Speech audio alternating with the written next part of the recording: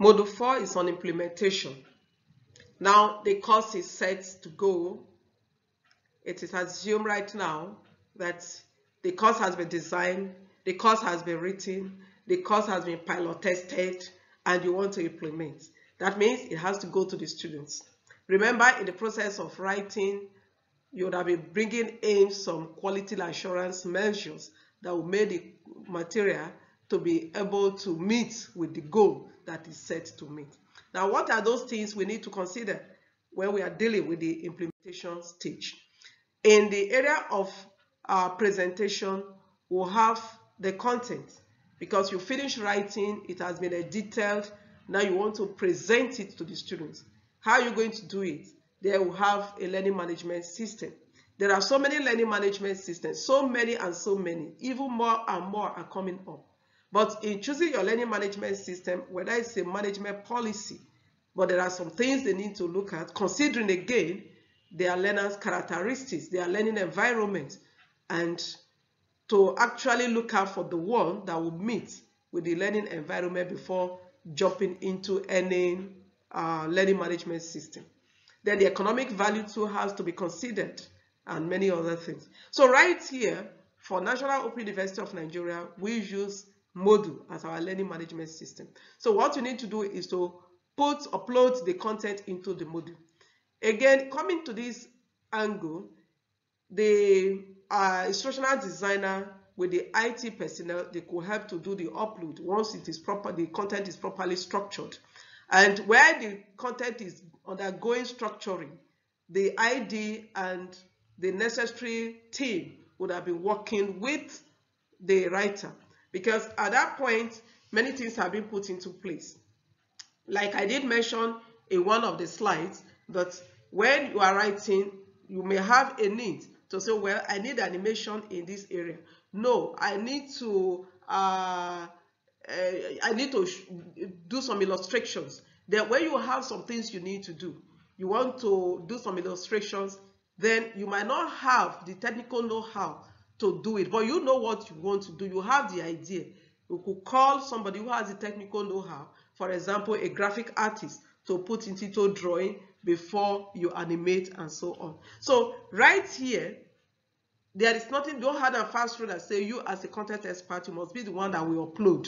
No, but wherever you can, it makes work easier and it makes it more interesting because while you are uploading, even if I cite some things, but if you are not the one uploading, what are you supposed to do? You have to work with the person uploading the content. After uploading, because you have to certify that yes, the way it is uploaded, that is the way you wanted it for your students. Because you are the content expert. You know how you want to sell this idea. Then the instructional designer must be there to confirm it, to ensure that the way it is uploaded, it will help the learner. Because the instructional designer will always take the place of the student while designing. You're always looking at it from the student angle. If this thing get to the student, will the student understand it? If this thing get to the student, will it not be confusing? If this get to the student, how will the student be able to actually work with it?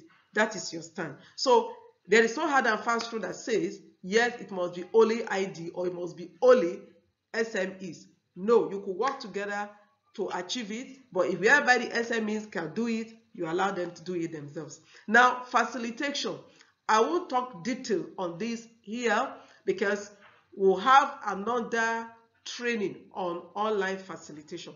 But however, it is good for us to have some snap as SMEs because when you are writing too, all these have to be at your fingertips because when you are writing and you are going to write for a course that will be self-paced, there is a way you write. When you are writing for a course that will be facilitated, there are some skills you bring in. Because if you bring in some skills for courses that will be self-paced, and you bring in some skill of facilitation, then there will be confusion because that particular time that the learner or the student is supposed to see you, he will not be able to see you because you are not available. So when you are writing, you consider is it going to be uh, self-paced or is it going to be facilitated? Or is what kind of a learning environment? Is it going to be synchronous?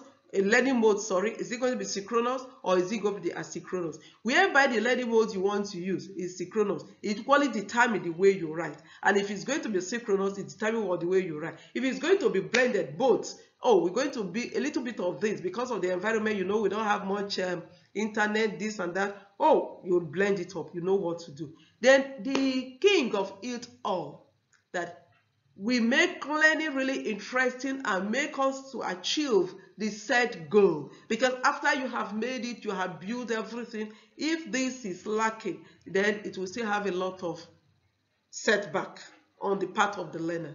That is feedback. Feedback is key. When you are designing, you would have designed how you want to give feedback. So in the process of implementation, the feedback must come in. And feedback in this instance are feedback you know that will help the learner to have uh, to progress in his or her studies. Not the one that is computer-based marking. Yes, it's feedback, but that is not the kind of feedback that we really, really need. And when you are giving feedback, you have to be careful of the choice of words you use. You have to be very careful because you don't have to be insultive. You don't have to be insulted before you know I'm giving feedback. A student sometimes could just write everything as if the student never picked the course material. But then it's still not enough for you to pick on the student and start insulting the student. There are ways you must talk. There are ways you must approach this. There are ways you must uh, talk with the students. And by this way, you discover that the student is already having interaction within the community service because you would now be standing out as a model for that student. Because while you are replying, you are writing, you are responding, the student is equally watching and listening and getting everything you are doing. Because if it is writing, you will read. If it is a video, you will uh, listen and so on. So what we do at the feedback stage, it matters a lot. And when you are giving a feedback that you have to write, yes, you requested for one, two, three points. The student even deviated, was out of point. When you just put the oh out of point, uh, where were you in the class? When you, does it mean you cannot read? In that case, you have killed the zeal of such student. But you must state whatever thing you want to state positively. And once that is done, you will be able to achieve what you need to achieve.